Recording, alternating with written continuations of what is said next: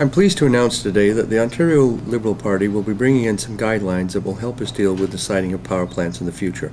I know that that's something that's extremely important to our community and something that I think uh, our community has waited for for a long time.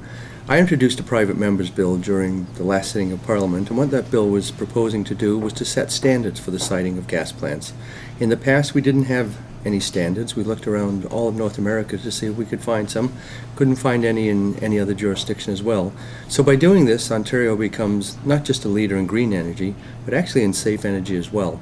We know that there will be a demand for, uh, for gas plants in the future. They won't be built in Oakville, but they will be built somewhere.